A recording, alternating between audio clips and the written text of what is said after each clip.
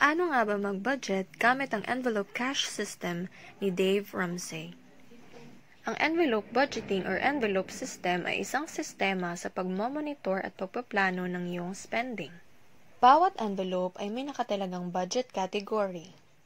Ano-ano ang mga ito? Mayroon tayong bills or fixed expenses, variable spending or variable expenses, at sinking funds. Ang bills or fixed expenses per month ay yung mga obligations na dapat bayaran. Ang mga pwede mong subcategories dito ay water bills, electricity, rent, loan, wifi, cable, at iba pang obligations na dapat talagang binabayaran per month. Variable spending or variable expenses, may nakatalaga kang budget Ngunit, maaring magbago ang amount na yon depende sa sitwasyon. Example, groceries. Maaring mas malaki ang gastos mo kaysa sa binudget mo dahil hindi ka nagplano ng mga dapat lang bilhin. Kaya, dapat ay may listahan ka ng bibilhin para pasok sa binudget mo at hindi ka mapasobra. Ang mga pwedeng subcategories dito ay, yun nga, groceries, toiletries, allowances, going or eating out budget. Maari ring mas malaki ang allowance mo ngayong buwan dahil nakatipid ka sa allowance mo last month at dinagdag mo yon sa allowance mo this month. Maaring mapasobra o mapatipid depende sa iyong activities sa month na yan.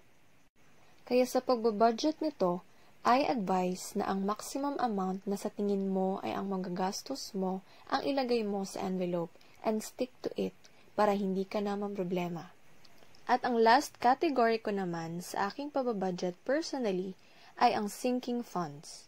Originally, ginagawa ito para pag-ipunan ang pambayad ng utang.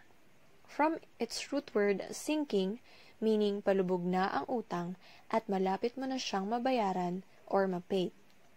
Pero, ginagamit din ito sa mga gusto mong pag-ipunan na may nakatalagang panahon. Ang sinking funds ay nakadepende sa goal mo. May bag ka bang gustong bilhin? Or may pinag-iipunan kang trip or vacation or gadget na gusto mong bilhin? Ang pagbabudget gamit ang cash envelope system ay nakadepende. Isa sa mga dapat nating i-consider ay kung magkano at kung kailan tayo sumasahod. Merong iba sa atin na sumasahod ng everyday, weekly, twice a month, or monthly.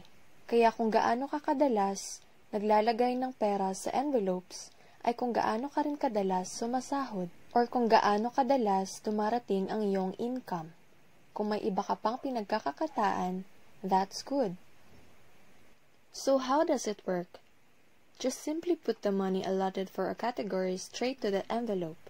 In this way, whatever spending na gagawin mo, dun ka lang babawas sa category na yon.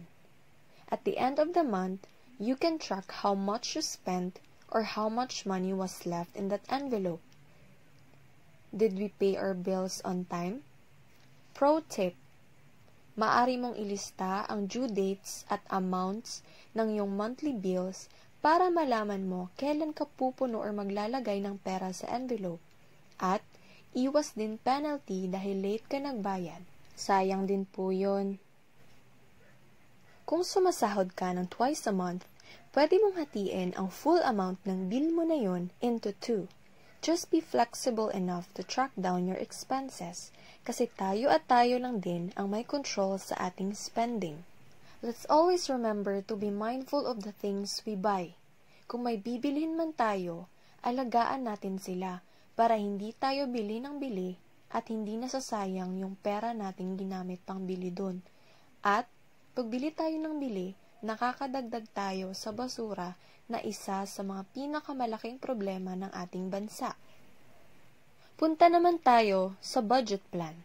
This is your way of budgeting or saving according to your salary and spending. Kasi, mas mabuti na nakaplano ka para at the end of the month, monitored mo yung spending mo at hindi ka magtaka sa napunta ang pera mo. And also, to track if napupunta ba talaga sa mga worthy na bagay yung hard-earned money mo. Ilang percent ba dapat sa savings? Magkano ba nakaalat na amount for spending? For groceries? All of these vary according to your situation. Single ka ba na mamamayan ng Pilipinas? Or pamilyado ka na? Or may utang kang gustong bayaran within a specific period of time? Sa mga situation na yan, very useful talaga pag may sinking funds ka para ma-achieve mo yung goal or mga plano mo in the future. Ang lahat po ng ito ay nakuha ko sa aking pag-research and I hope na na-explain ko sa inyo sa abot ng aking makakaya. Sa aking next video, aking isi-share sa inyo kung ano-ano ba ang mga subcategories na meron doon sa aking cash envelope system na ginagamit. Ano ba ang mga pinagbudgetan ko per month, future plans or goals, at pinagagastosan. Ako po pala ay isang single young adult na mamamayan ng Pilipinas. And I can't wait to share with you my first ever cash stuffing video. Opo, sa susunod na video, tayo ay magpupuno or maglalagay ng pera sa bawat envelope. Huwag muna ngayon sa kadahilan ng wala pang sahod.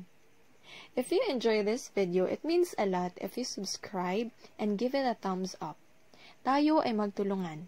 Asahan ko kayo sa aking next video. Salamat sa panonood.